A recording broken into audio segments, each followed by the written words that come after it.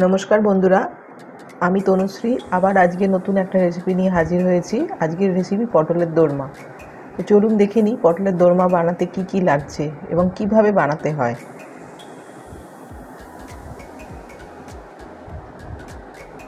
পটলের দোরমা বানাতে পটল লাগছে। এখানে আমি পটলের ভিতরের বীজগুলোকে বের করে নিয়েছি। গায়ে হালকা করে সব খোসাগুলো একটু চেঁচে নিয়েছি। এবং দুটো বটল রেখেছি, আমি বীজটা কীভাবে বের করব দেখাবো। লাগছে ছানা, টক দই, কাজু বাটা, আদা বাটা, হলুদ গুঁড়ো গরম মশলা, কাশ্মীরি লঙ্কার গুঁড়ো, জিরে গুঁড়ো, নুন, এবং লাগছে চিনি। আর এটা পুরো সম্পূর্ণ একটা নিরামিষ রান্না।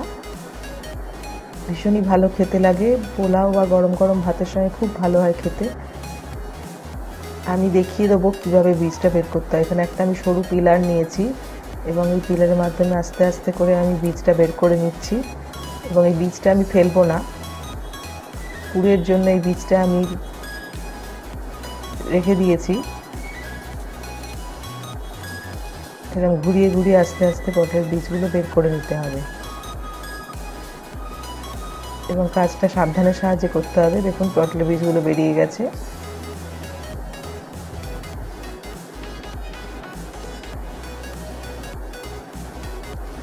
মিক্সিং জারে বীজগুলো নিয়ে নিচ্ছি। আমি একটা স্মুথ পেস্ট বানিয়ে নেব। আমার এই রেসিপিটা ভালো লাগলে আপনারা লাইক, কমেন্ট করে জানান কেমন লাগল। যারা এখনও সাবস্ক্রাইব করেননি, তারা প্লিজ সাবস্ক্রাইব করুন, আর পাশে বেল আইকন প্রেস করুন, যাতে পরবর্তী রান্নার আপডেটগুলো আপনাদের নোটিফিকেশানে চলে আসবে। দিয়ে দিলাম পটলের বীজ বাটা পেস্টটা সর্ষের তেলেই রান্নাটা হবে। এবং সর্ষের তেলেই দিয়ে দিলাম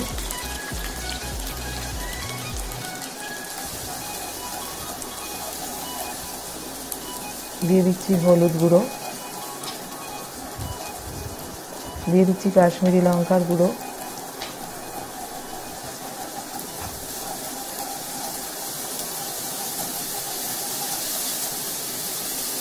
দিয়ে দিচ্ছি ছানা এবং ছানাটা খুব ভালোভাবে জল ঝরিয়ে নিতে হবে।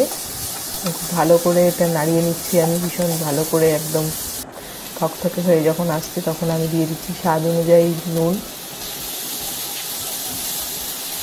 দিয়ে দিলাম চিনি চিনি এখানে এক চা চামচ। পুরটা বানানো হয়ে গেছে। এবার আমি কড়াইতে তেল দিয়ে দিচ্ছি। সামান্য তেল দিলাম। তিন টেবিল চামচ তেল দিয়েছি এখানে। তেলটা গরম হয়ে গেছে। এবার আমি পটলগুলো ভেজে নিচ্ছি। কারণ এটা পটলগুলো ভেজে নিয়ে পুরটা ঢোকালে সুবিধা হয়। নইলে পুর, পটলের ভিতর পুর দিয়ে ভাজতে গেলে অনেক সময় পুরটা বেরিয়ে আসে। সেই কারণে আমি আগে পটলটা ভেজে নিচ্ছি। এটা সুবিধার জন্যই আমি বললাম। এটা যারা নতুন তাদের সুবিধা হবে বানাতে।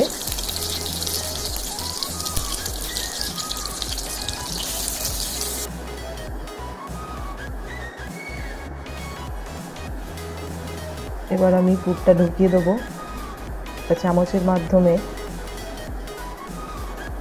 আস্তে আস্তে ঢোকাতে হবে।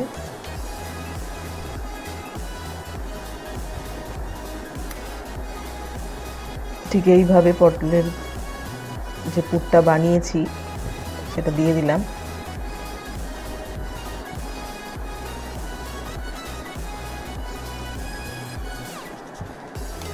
এবার আমি একটা স্টিকের মধ্যে পটলের ওপরে মুখটা রেখে দিয়েছিলাম, সেটা গেঁথে দিলাম। আর একটা দেখিয়ে দিচ্ছি।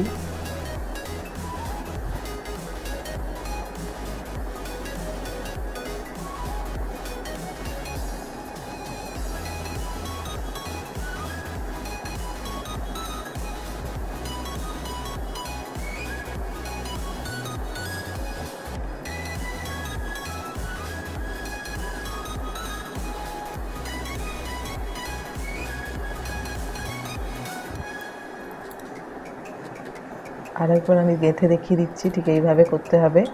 স্টিকের মাধ্যমে মুখটা দিয়ে গেঁথে দিতে হবে। আবার আমি দু টেবিল চামচ সর্ষের তেল দিলাম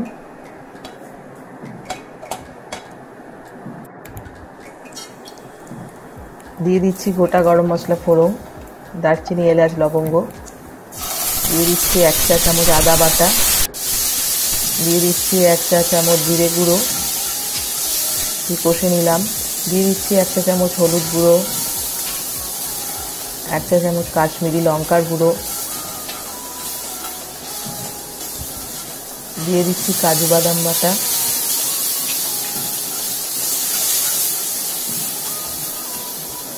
দিয়ে দিলাম টক দই।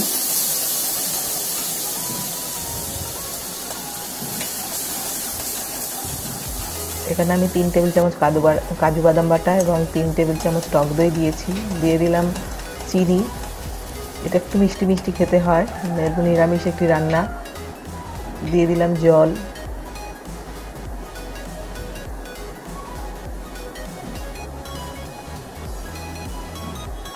পটলগুলো দিয়ে দিচ্ছি আস্তে আস্তে।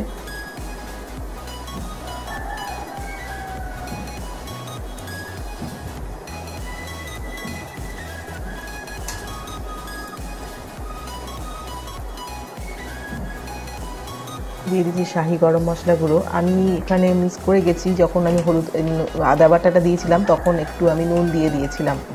সেটা বলতে ভুলে গেছি।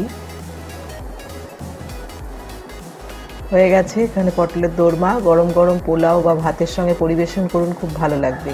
আপনাদের সঙ্গে আবার দেখা হবে নেক্সট মঙ্গলবার এবং শুক্রবার। নমস্কার।